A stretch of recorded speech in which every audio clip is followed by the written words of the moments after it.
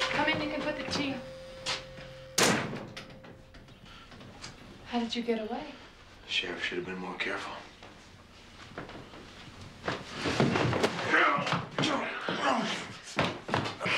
How many others were there, Sarah?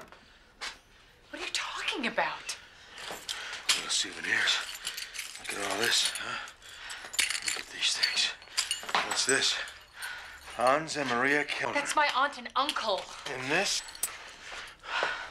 You said you like to keep a piece of each of us with you. You gave that to me. I doubt it. You drugged me and made it look like I killed a doctor. And what'd you use on Parker? Arsenic, strychnine? You don't have to tell me. They've got a test now that shows what really killed him. Too bad I'll be gone by then.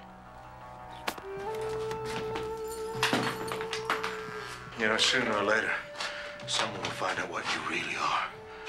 Perhaps. But it looks like it's gonna have to be later. You see, fortunately for me, you, the accused murderer, escaped from jail, came here to kill me. I just acted in self defense. You didn't escape, Miss Dawson. Neither will you.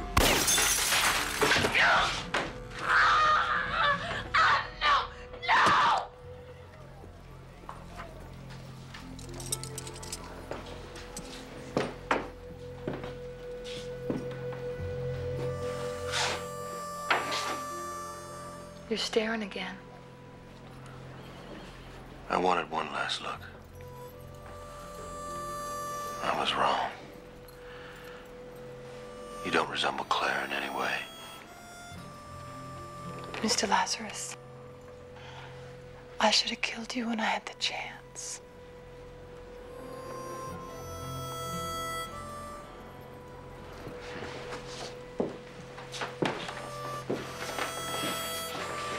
Remember me fondly.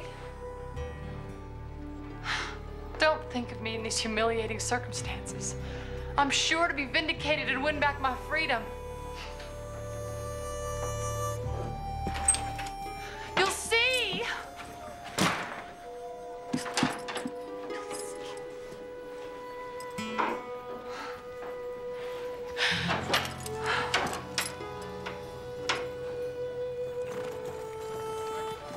I have endured relentless pursuit by strangers who haunt my dreams and plague my waking hours.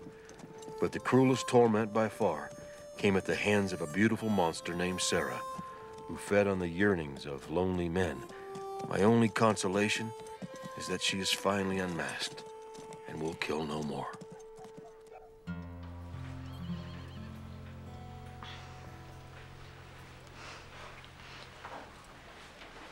Excuse me, Deputy.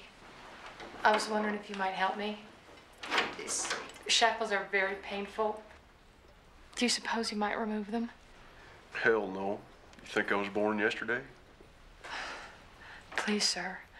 I won't be any trouble. Uh,